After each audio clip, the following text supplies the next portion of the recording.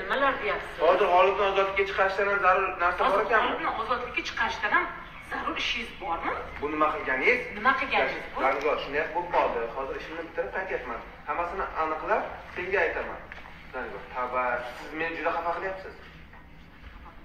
Shu payt ko'nglingizga ish shu sig'yaptimi payt ko'nglingizga ish sig'yapti yashang ho'p Darigor keyin tushuntirib beraman hammasini.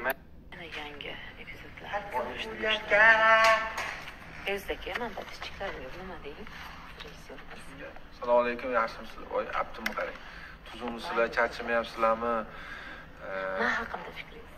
labimni tekis qilib qo'ydim yo'q voy bir nima?